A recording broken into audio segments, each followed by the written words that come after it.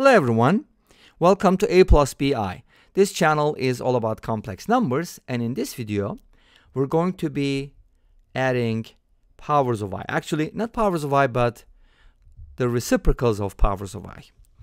And I'll be presenting at least two methods. Let's see how that goes. So we have this sum 1 over i plus 1 over i squared plus 1 over i cubed dot dot dot all the way up to 1 over i to the 40th power. So let's see how we can add this in different ways. First of all, I'm thinking about simplifying each of these terms. So what is 1 over i, right? Let's go ahead and take a look. So 1 over i is basically the reciprocal of a complex or imaginary expression or just imaginary unit and I can basically multiply by the conjugates. What is the conjugate for i? That will be, if you said i, that's wrong, it's supposed to be negative i. But a lot of times people are going to multiply by i, then, then they'll continue with the negative sign. But I like to multiply this by negative i.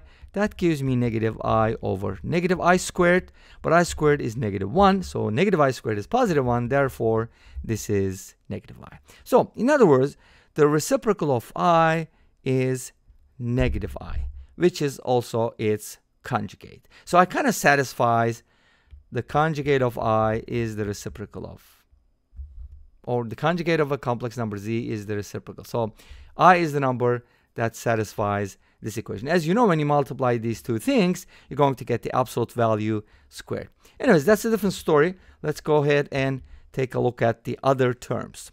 How do you simplify 1 over i squared? 1 over i squared is just going to be 1 over negative 1, which is negative 1 because i squared is negative 1. 1 over i cubed, since i cubed is negative i, this is going to become negative 1 over i. 1 over i was negative i, so this is going to be positive i. And then what happens with 1 over i to the fourth power? That's just going to become 1 over 1 because i to the fourth, remember, we're working mod 4 here, so it's going to be 1. So this is also going to be 1. So what happens with powers of i? Well, they alternate and they kind of repeat over and over, right? Periodically. Same thing happens with the reciprocals because reciprocals of powers of i are also powers of i, it, just in a different way. Think about what would happen when you have 1 over i to the power n, right? What would you multiply by to get this um, as a power of i? That would be a good question because it really depends on what n is, right? Of course, n is an integer in this case. We're not talking about fractions or any other crazy stuff like what is i to the power 3 fourths or i to the power root 2. Those are kind of crazy things. We're going to keep it simple. Anyway, so those are the terms. And since this is going to repeat, is it Let's go ahead and take a look at 1 over i to the fifth power, which is the same as 1 over i. So notice that the same rule applies 1 over i to the power 4n minus uh, 4n plus k is basically the same as 1 over i to the power k, which is great because n and k are integers, so this works.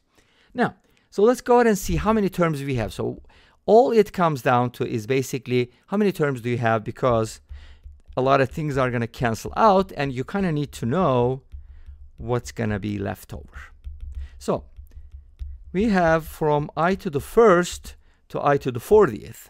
So that means there's going to be 40 terms because we don't have i to the power 0, we don't have 1. We could have, I guess, but I don't know why I didn't include it. I just started, wanted to start at 1 over i. But there is a number of terms is basically a multiple of 4. What's that supposed to mean? Well, every four terms, every four consecutive terms are going to cancel out. So we're going to end up with nothing. Are you serious? Yeah, everything is going to cancel out, even though these are all kind of reciprocals. We're going to end up with zero. So this sum is actually equivalent or equal to zero. Okay? All right. I don't know if you were expecting this, but that's what it is. Let's go ahead and take a look at an alternative method for solving this problem. Now, second method. Let's call it second. So 1 over i plus 1 over i squared. Now, what would you do if you had to use another method? Because sometimes your teacher might say, hey, I want you to use this particular method. Sometimes the test or, the problem will ask for a certain method to be used. It's just to make sure that, you know, the people or students uh, know how to use that particular method, especially if it's an important one. Anyways, so here's one thing. This is a geometric series, a finite geometric series. And what do we know? we can just add the terms. So if you have something like a sub 1 plus a sub 1r plus a sub 1r squared, dot, dot, dot. And by the way, instead of a sub 1, you could also write a. It doesn't matter. a sub 1 just represents the first term. And r is the common ratio. So this is equal to, of course, I'm not talking about the, uh, what's it called, the infinite case. I'm talking about the finite case. So let's go ahead and end at a1 times r to the power n minus 1. Uh, a lot of times they're going to finish or end this with n minus 1 because we want to get n terms and we start with r to the power 0. Make sense? So there are n terms. And this sum can actually be kind of simplified as follows. You can take out a sub 1, so you don't have to write it like n times. And then this will look a little simpler.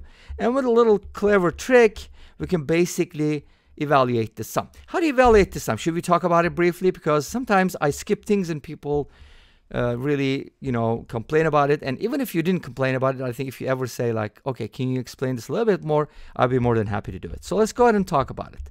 So now whenever you have a sum like this, and if it's geometric, uh, we go, call it S. S stands for sum. It's the same thing as the integral symbol. That's just an elongated S. That's a different symbol. Well, it's the same thing. Anyways. So now, here's what I'm going to do. I'm going to multiply everything by r. So if I multiply 1 by r, I'm going to get r, r squared, r cubed, dot, dot, dot. And of course, I'm going to have r to the power n. And of course, it's going to be s multiplied by r. Now, here's the trick. Either way is fine, but I would like to subtract this way. So let's go ahead and subtract these terms. How do you subtract them? You can negate the second one and just add. So that's what that's uh, let's do it. Minus sign, minus sign, minus sign. Everything has a minus sign. Everything, including this one, has a minus sign. When you subtract, you're going to notice that everything cancels out diagonally, including r to the power n minus 1. And we end up with 1 minus r to the n equals s minus sr. And then if you take out s, of course, this is provided that this expression will converge, but guess what? This is a finite series, so it will converge, of course. From here, s becomes 1 minus r to the n divided by 1 minus r. So that's our sum. Let's go back here. So this expression right here is basically going to be 1 minus r to the n divided by 1 minus r. When you multiply by a sub 1, you're going to get the sum. So a sub 1 times 1 minus r to the n over 1 minus r is our sum. But what is the first term in this series? 1 over i. Let's go ahead and plug it in. So let me go ahead and copy that here so I don't have to scroll back and forth like crazy. So our sum was 1 over i plus 1 over i squared plus dot dot dot all the way up to 1 over i to the 40. Now a sub 1 is the first term. It's 1 over i multiplied by 1 minus 1 over i to the power n. Now in this case, n is the number of terms, which is 40, and that'll be divided by 1 minus 1 over i. Yes, this expression looks much complicated, but guess what? It works. So it's going to simplify this. This is going to be 1 over i to the 40, but i to the 40 is 1, remember? And that's going to give us 1 minus 1. Are you serious? We got 0 already. Yay, we don't even have to do any simplifications. Of course, these are non-zero. So our sum is equivalent to 0 one more time. And this brings us to the end of this video. Thank you for watching. I hope you enjoyed it. Please let me know. Don't forget to comment, like, and subscribe. I'll see you next time with another video. Until then, be safe, take care, and bye-bye.